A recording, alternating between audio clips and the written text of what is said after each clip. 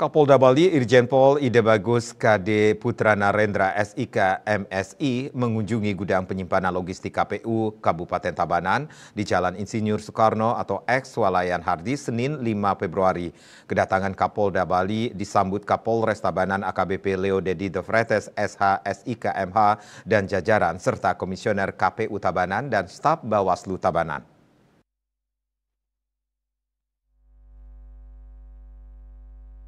Kapolda Bali didampingi Karo Logistik Polda Bali Kombes Polisi Dr. Anes Igede Mega Suparwite MSI Pamat Wil Tabanan Dirlantas Polda Bali Kombes Polisi Ruminio Ardano SIK Kabid Propam Polda Bali Kombes Polisi Iketut Agus Kusmayadi SIK SH dan Kors Pripim Kapolda Bali. Pada kesempatan tersebut, Kapolda Bali menekankan jika ada kekurangan logistik segera dikoordinasikan dengan KPU Provinsi. Selain itu, pergeseran logistik ke masing-masing PPS, desa atau kelurahan agar benar-benar detensi.